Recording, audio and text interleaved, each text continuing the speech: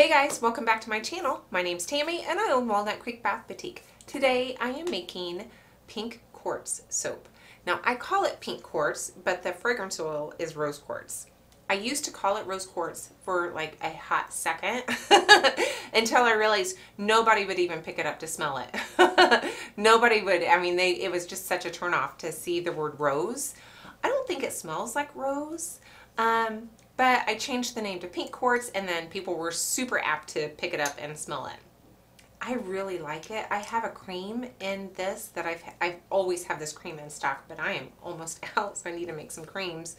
Uh, that The cream smell sells very well. Um, the bath bombs I make with this sell very well. I'm very, very hopeful that this stays skin safe come uh, May when the IFRA update is the 49th Amendment comes up. Uh, I just checked a couple days ago and it's still not updated on the Brambleberry website. So I'm going to make this soap and hope and pray that it stays skin safe because this is a keeper for me.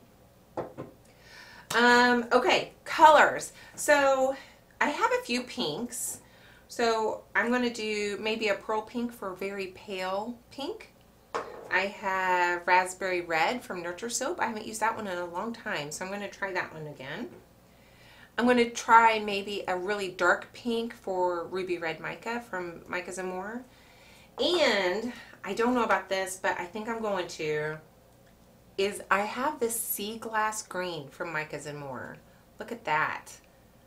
I'm in love with this color and I haven't used it yet. I'm so excited to use this. I'm thinking three greens and three pinks and a green. I think I'm just going to do it. I thought about piping um, I don't think I'm going to. I think I'm going to, it's already past six o'clock and I'm kind of an early to bed, early to rise kind of girl.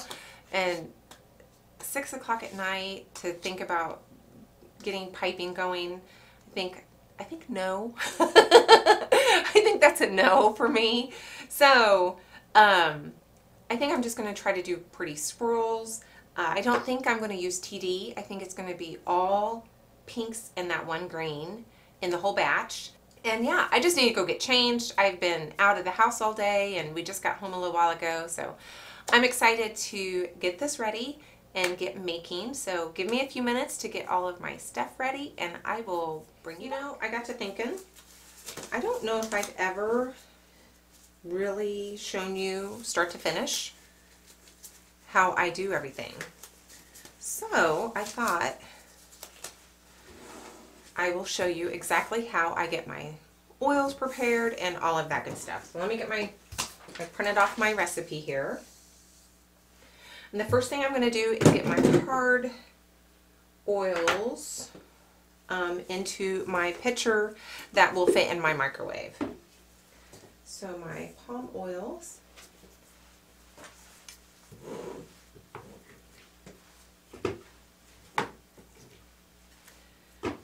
So I have these little, I got these off of Amazon and um, they have the uh, airtight lids. They're really nice. And I used to actually uh, put my oils in here as a, um, like per batch. So I would put a whole batch of hard oils in this and it would be one batch of soap and I would store them and then I would microwave this uh, and then I realized that these weren't necessarily microwavable. and so some of them are pretty, uh, you know how they get mottled, the plastic. And I thought, oh gosh, I don't think these are microwavable. And I really thought they were when I bought them. Um, so I use them for different purposes now. And what I do is I have um, five gallon, is it five gallon or 10 gallon uh, buckets on the other side of me here of my palm oil and my coconut oil. And um, I just fill these up every time. And, you know, I can probably get about three batches of soap in this container. And when it's empty, I'll fill it back up from the 10 pound bucket. And that way I can just bring this over to my scale. And I am probably going to need to go get some more palm oil. Okay.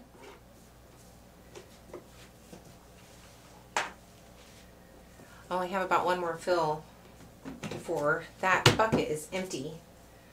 That's scary. And then I'm going to smash in my coconut oil. I'm going to do the exact same thing with this container. Okay guys, so at this point I am going to go get this in my microwave and start melting it. While that is heating up, I'm going to go ahead and get my lye water going.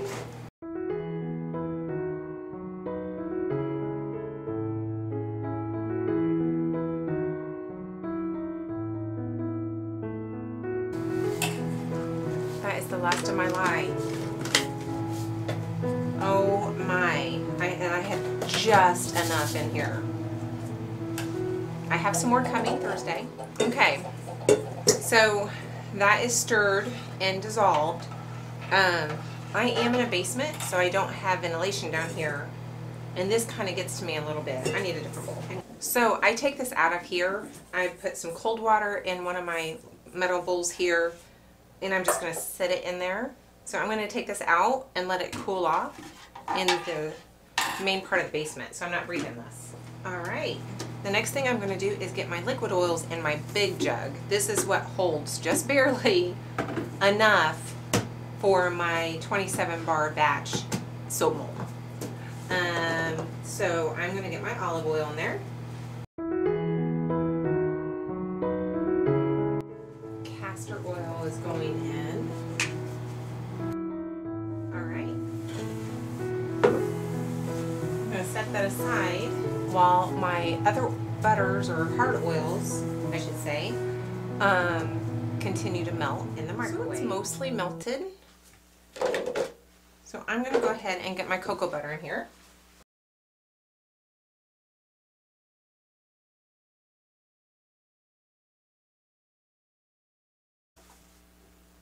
Alright, I'm just going to let this sit aside and melt fully.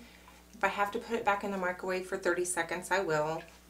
Um, most of the time I do have to put it back in there for just a just another 30 seconds or so. I'm going to go ahead and get my colorants in here.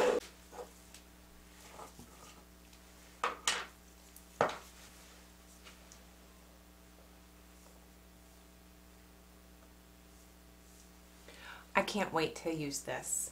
Um, I actually have uh, a soap planned for that specifically, just for that color. I'm so excited. All right, my base soap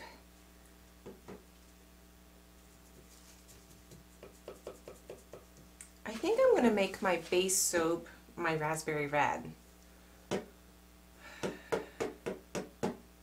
I think I am. So raspberry red is going to be the main part. I'm going to have a good amount of the green.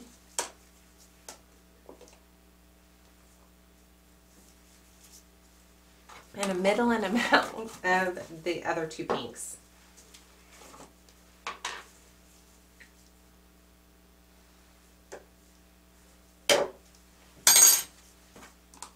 I have my TD sitting aside, so if I need to lighten anything, I have that ready. We're just going to wait for everything to come together and come down to closer to room temp. About 80 to 90 if I can make myself wait that long. and yeah, we'll be back. All right. All my hard butters and oils are now melted. So I'm going to carefully pour those into my big bucket. Try not to create soap bubbles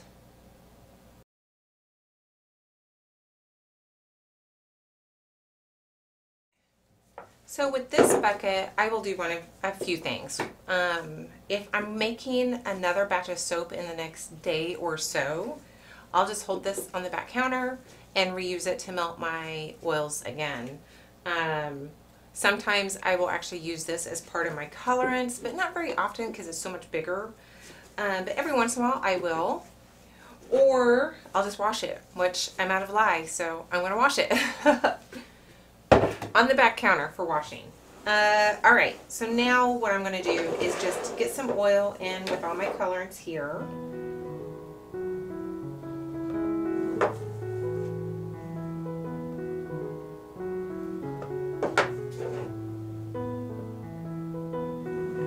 And I'm going to get them all smushed in.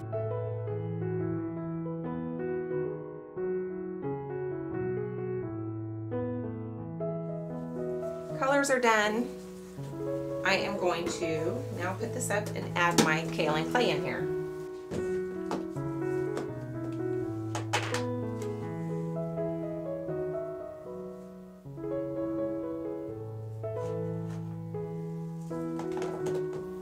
if I can, I don't always get to it, but if I can, I try to let this kind of absorb for a few seconds.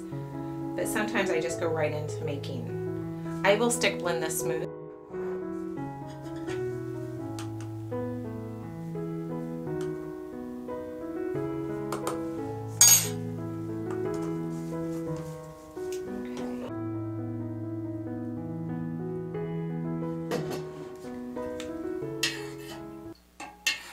All right, my lye water is 91, so I'm gonna call it good.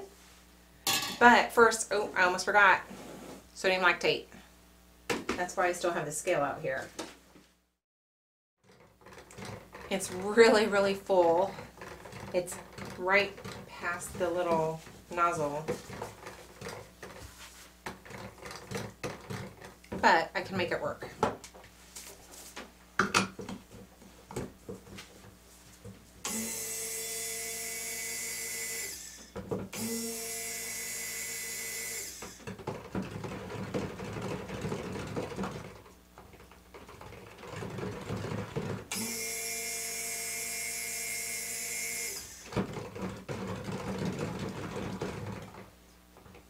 It's a blend and stir, blend and stir kind of scenario here.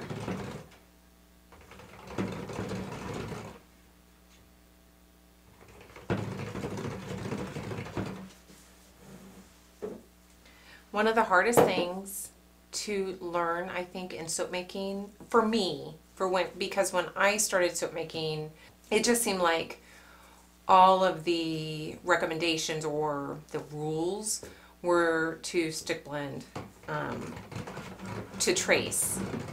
And that, that is a hard uh, lesson to learn not to do that.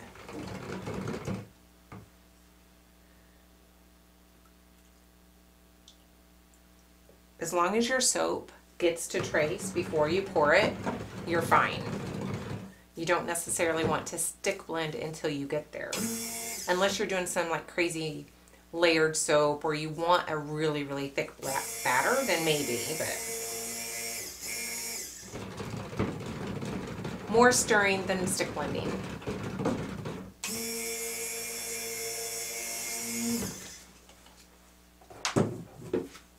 All right, I'm gonna go ahead and pour these off.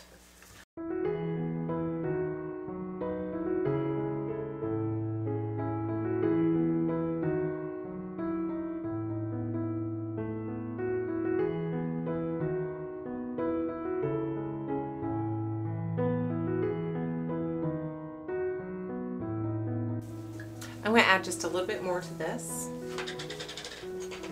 I want it to be a little bit deeper.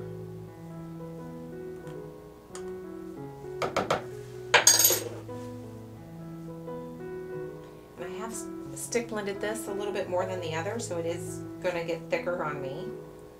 But this is a pretty well behaved fragrance oil. But this is definitely getting to the point where it's almost at a trace, so I'm going to I'm going to move a little quick right now and get this stick blended in as best as I can. That's closer to what I was looking for. And I have my TD here. I'm just going to add a little bit to that. Lovely.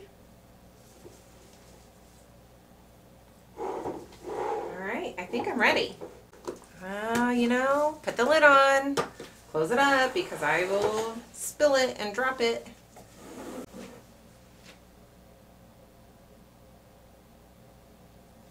You can see little specks where I didn't get this blended in very well because I was in a hurry and I did it with the stick blender instead of blending it first. One of those things I kind of know better, guys.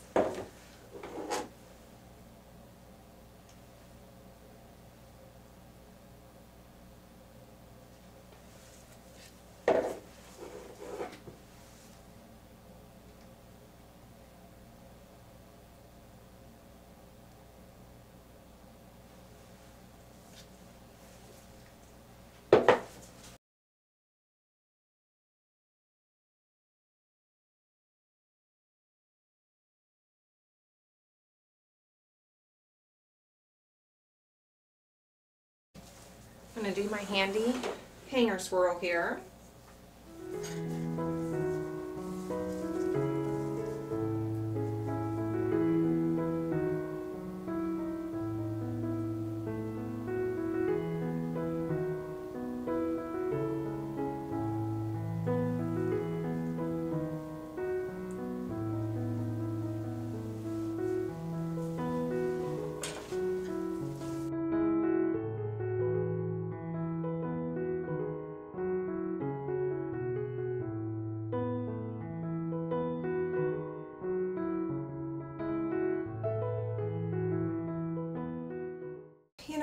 Are you bored with my tops?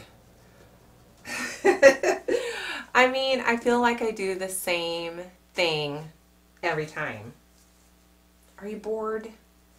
Give me ideas of what you would like for me to do on the top because I can kind of see where you would get kind of sick of the same swirl.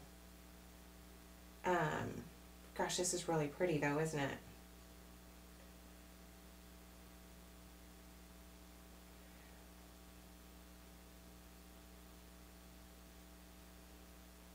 But if you have ideas of what you would like for me to do on the tops, as opposed to this or piping, because that's about all I ever do, right?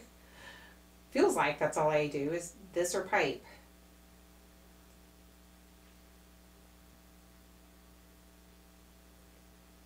I know it's hard to beat one of these swirls though, isn't it? They're so pretty.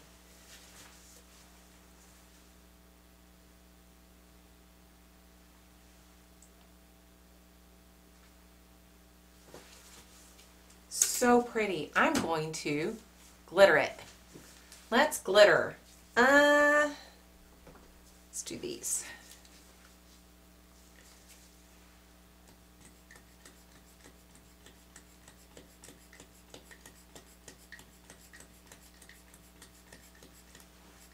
Okay. Try not to put too much on there. All right, I already have them cut into logs. So let's see what they look like.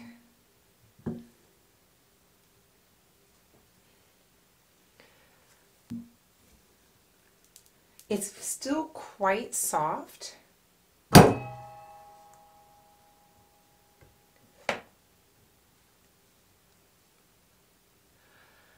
Oh. What do you guys think? I think it's kind of pretty.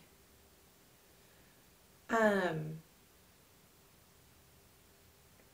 I that almost looks like it's uncolored. So instead of the light pink, um, that's kind of odd.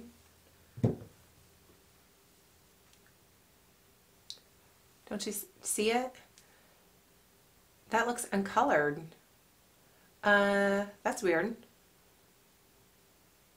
I don't think I used uncolored soap. No, I didn't. That's really weird. I'm curious to see if that's going to, on the edges, you can see it's pink. So I wonder if that's going to turn. You can actually see it on this one. On the edge, it's pink. But as soon as I turn it over, it, it looks uncolored a bit. That's interesting. It's a little, little dull on top. Probably could have steamed that and, and shined that up pretty nicely. Um, but I'm pretty happy with the swirls. I think they're really pretty. Um, I think I'm going to be happy with the overall design. It is still quite soft. Uh, so, whoops. I am going to give this a couple days to finish uh, hardening up a little bit. I'm anxious to see if all that goes away.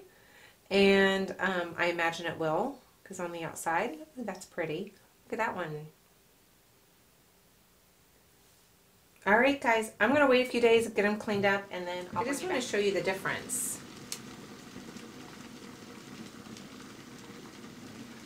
Not steamed, steamed. That's pretty amazing. So I'm going to go ahead and steam the rest of them. I did end up uh, steaming them. I think I taped, I, I mean, I know I taped that. So if it, if my lighting was good enough, I'll include it. But if not, they do look better steamed, but that ashiness kind of came back. So I don't know how long that steaming really is good for. Um, they're they're better than they were. They're not as super shiny as they were right after steaming them when they were still a little wet. They are they are very matte and a tiny bit ashy looking. Um, all in all, I'm really happy with how these turned out. I think, you know, it's really, they're really pretty. And let's see. Oh, yeah, yeah, yeah. The, uh, the pink came through. So when we cut that, that was uh, very white and that pink did come through after it sat here and um, the air got to it a little bit. So that came through fine. Uh, I'm just really pretty happy with them. I think it's kind of an interesting take on the pinks. Um, I like a little bit of green in there. I think that makes for a pretty bar. And I like the scent, guys. It's it's kind it's very kind of girly. It's just it's a sweet sweet scent. I I just like it a lot. I uh I really had fun with this one. So that's it, guys. Thank you so much for your time. I know it is precious, precious time to you. So thank you for sharing a little bit of that precious time with me. I hope you enjoyed the video. And if you did, would you give me a thumbs up? If you didn't, you can give me a thumbs down. And subscribe if you haven't already. Let's subscribe. Woohoo! That's silly. I'm sorry. I'm tired. I'm going to go put my feet up. It's like almost 9 o'clock on a Tuesday. I start getting a little slap happy. When am I not slap happy down here, though? That's me. So thank you for sticking with me. I'll see you in the next video, guys. Bye.